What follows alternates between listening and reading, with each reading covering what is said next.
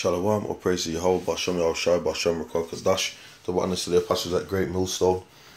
Uh, this is uh, going into Issachar, and how Esau destroyed um, uh, the Aztec civilizations and literally burned, like, like deconstructed their cities and stuff. And you know, they got a water crisis going on, and um, pretty much Esau is the cause of that.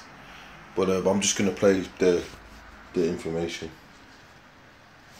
Megalopolis apart is also its biggest challenge. It is the largest city on Earth without direct access to a significant body of water, although that wasn't always the case. This is an examination of Mexico City and the water crisis that threatens its continued prosperity. Nearly seven centuries ago now, the Aztecs came across an island in the middle of a lake in a vast valley more than 2,000 meters above sea level, hundreds of kilometers from the nearest coast.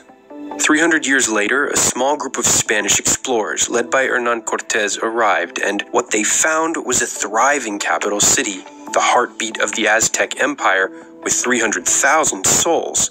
It was called Tenochtitlan, and it amazed the Europeans. Its labyrinth of canals dividing a network of man made islands reminded them of Venice, and they wanted it for themselves. There in the center of the lake was this gleaming white city. It was something they had never seen before, and for us, we could almost imagine as Dorothy looking at the, uh, you know, at Oz for the first time. It was far larger, at uh, a quarter of a million people, than any city they had ever seen in Europe. Armed with superior weaponry and the most powerful exterminating agent, disease, the Europeans wiped the Aztecs out and systematically dismantled their great temples and pyramids. Then they set out to quickly build the most renowned city in the Americas. They rejected the Aztec way of living harmoniously with the land and instead filled their canals, destroyed their floating farms, and drained water from the lake until it was completely empty. This set the city on a collision course with nature. Over time, it has grown to cover the entire lake bed and well beyond.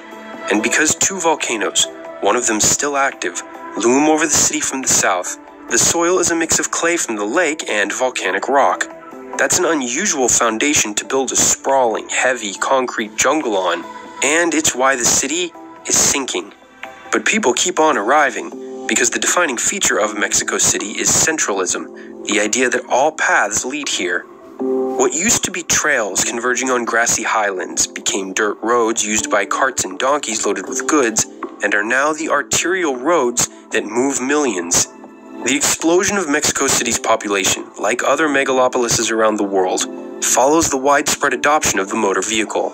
In 1950, its population.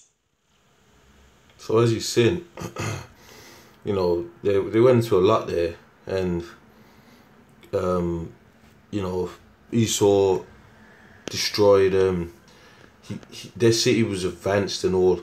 I mean, you heard it for yourself, and Esau pretty much, you know, under these conquistadors, whatever, they came over there. Cortez, what's going on with this screen? Yeah, it's playing up. Yeah, um, he drained their waters.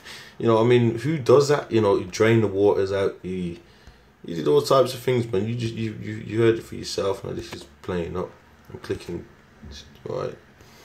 And the um, you know, he he said it was a harmonious land and and all of this, and he just destroyed it. He, how are you gonna drain out the waters, bro?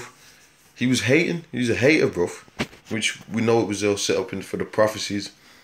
But Esau's the devil, man. I'm not. If you heard what he said, I don't really have to go back over it.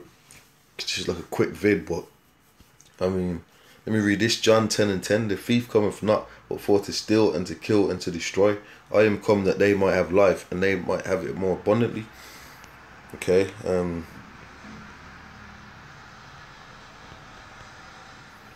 The earth is given into the hand of the wicked. Okay, he covereth the faces of the judges of wrath. If not, where and who is he?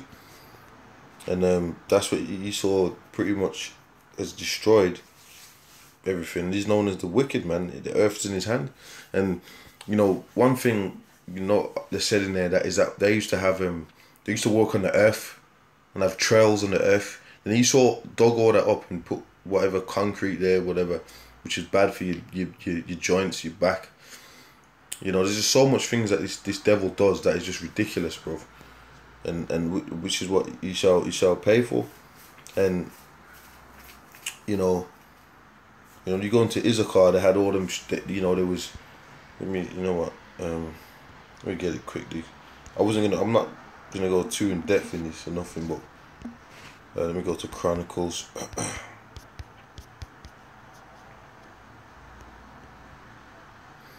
Alright, um, First Chronicles twelve thirty two, and the children of Issachar, as also the Aztecs, is Yashakar, were men that had understanding of the times to know what Israel ought to do. The heads of them were two hundred, and all the brethren with their commandment. So, um, you know, you, you, you pretty much had the, the Issacharites, bro. They're known for the, the Aztecs are known for their time and the mines, for their time system and stuff, and many different arts and stuff that they had because you know you had the Aztecs going all the way down. You know, down that land, down there to um, Guatemala and stuff. So so, you know, like I said, man. Esau came over there and destroyed it. You know, Esau's just the devil that the scripture speaks of. Now they're saying they got a water crisis over there, and they have to deliver water to each house.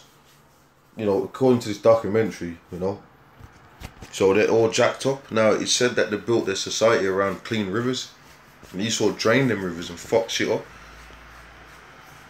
You know, so he really he really did a number on the Israelites. Because here it is. You can have people in slavery, but this man doesn't even want you to have clean water to drink. And then they're calling you illegal aliens for trying to get through the border. it's ridiculous, bro. They want to own. was 3.1 million. As paved highways became more common, it jumped to 5.5 million by 1960, then nearly tripled to 14 million inhabitants by 1980. This boom has exacerbated the city's two most urgent challenges bringing in enough water for 21 million people, while simultaneously sending away the millions of liters of wastewater they produce each day. The city is failing on both fronts. Now, it goes, all goes back to Esau we just watched it now. One thing I gotta say that bro is that when you check it out, um, it even said that um, oh, it's just slipped my mind. Um,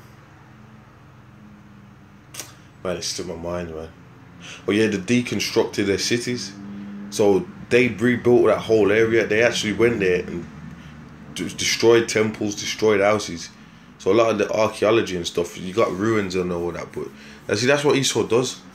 Oh, you you like never had. No, you da- you damn right we had things. Esau just destroys it, bro, and builds his stuff up there, and that's in the scriptures too. So, I mean, anyway, with that, I'm gonna say shalom. You know.